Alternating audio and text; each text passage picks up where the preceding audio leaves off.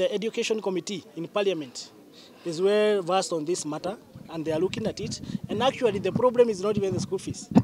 The problem is the capitation. And this is something that we are looking as parliament to ensure that the, uh, the current capitation that uh, is given to each kid, that the whole amount is dispersed to schools. Like right, right now, only 55% has been dispersed to schools. And that is why secondary schools are struggling. They are not struggling even because of the school fees, it's because of the, the disbursement criteria of the, that capitation, the amount that is allocated to, to, each, to each pupil or to each student. And we also, because we sit in parliament, uh, we will also look at the budget to make sure that the capitation that was being given 10 years ago is the same capitation that is being given now.